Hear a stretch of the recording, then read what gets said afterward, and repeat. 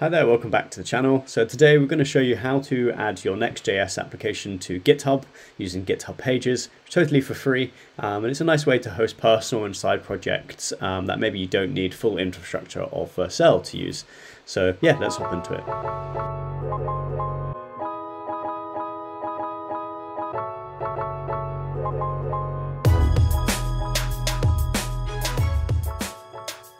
We first want to initialize a repository, which I've done.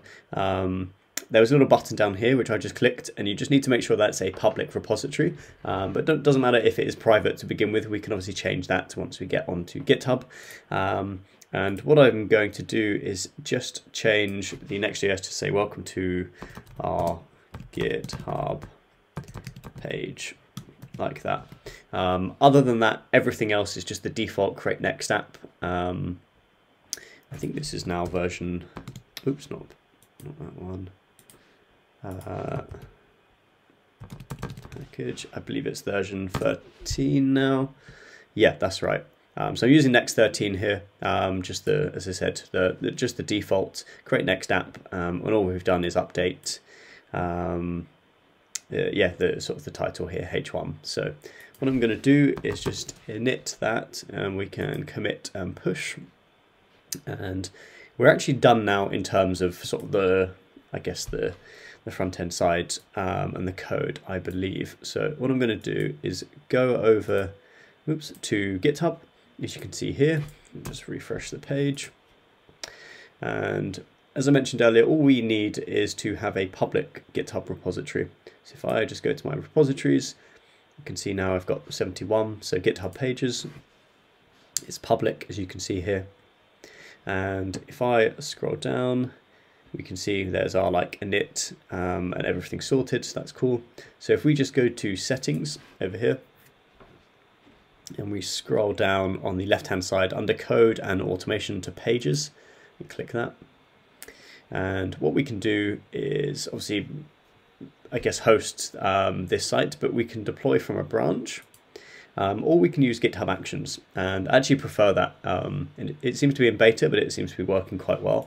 Um, I've got a site currently that, that uses this, um, and we can see here it's suggesting a workflow. And because uh, we have a Next application, there is a, a Next.js workflow um, provided by GitHub. So all we need to do is click Configure, um, obviously, if you'd prefer to use a branch, you can, let's say, have your main branch or deploy branch. Um, and then every time you merge into that, you can also run actions and it will give you a sort of, I guess, a YAML file.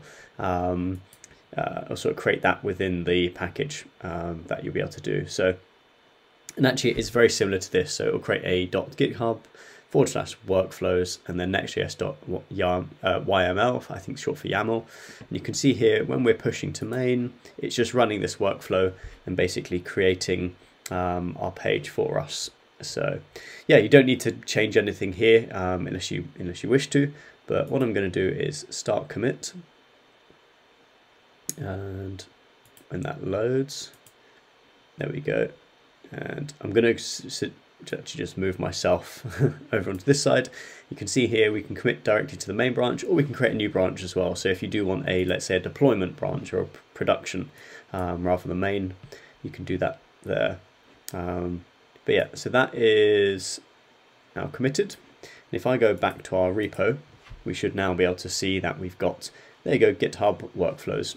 And it's actually started to build here. So this is a, a hash um, for that particular build and then you can see it's in progress and it's just doing some checks and if we want to go into the details we can do that like so and it's just running the workflow and you can see it's doing up uh, sort of I guess running through all of these the different things so it's um, yeah setting up um, setting up node getting the pages restoring a cache for example and then here we'll see if it, if it, it can build the Next.js application um, and obviously it might throw some errors and then we can sort of figure those out in the code and, and recommit.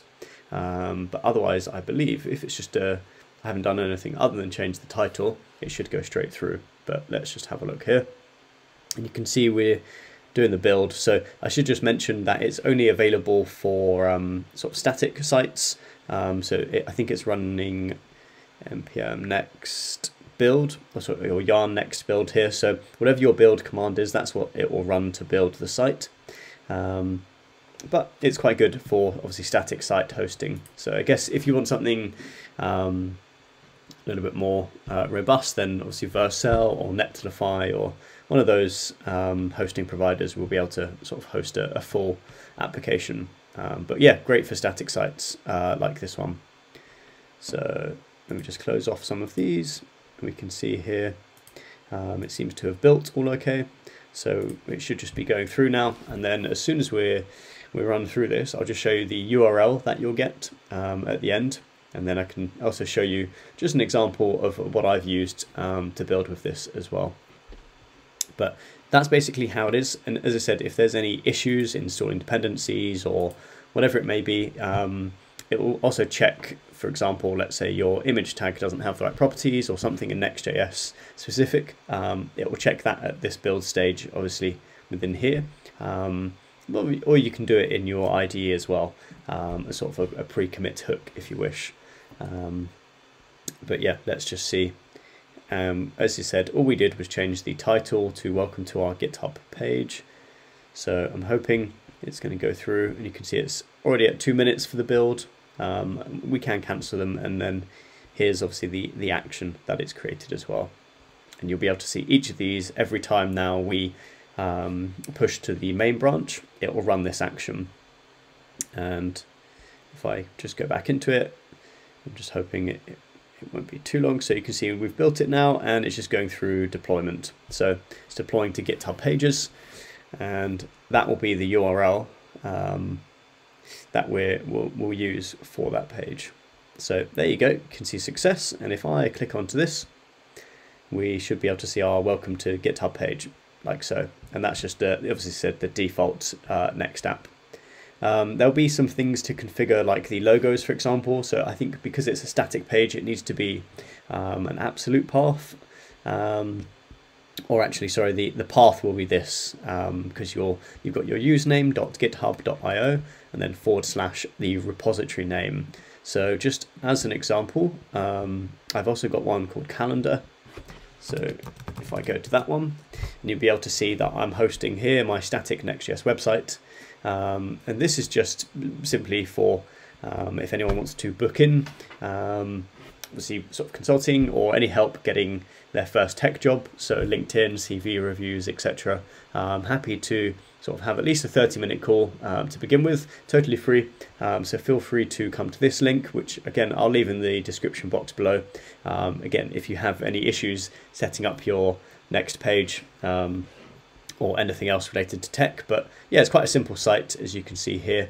Um, there's actually still um, some styling issues with this embed uh, here. I'm not sure if I can control that, but um, yeah, let's say I wanted to book for the 28th of Feb tomorrow. Um, you can then select the time, for example, that I'm free, um, and you can go ahead and put some information in and then send that off. Um, and yeah, we'll then set up a call then. But yeah, that's just, as I said, an example of how I'm using GitHub Pages to host static sites. And as you can see, it's really quick and simple. Um, and it only took nine seconds to deploy. So GitHub provide all of that for free um, for public repositories, and I think it's a great way to host your personal projects as well. Um, obviously, if you've got like a actual side project or something a little bit more robust, I definitely recommend to lean into Vercel. If you're using Next.js, um, they've got really good infrastructure there. Um, but certainly, GitHub Pages works well um, for this use case. So, yeah, I hope that was useful. Thanks for watching, and I'll see you in the next video.